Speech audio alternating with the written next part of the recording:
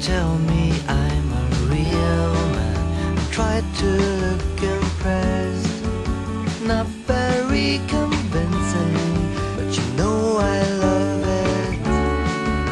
Then we watch TV till we fall asleep. Not very exciting, but it's you.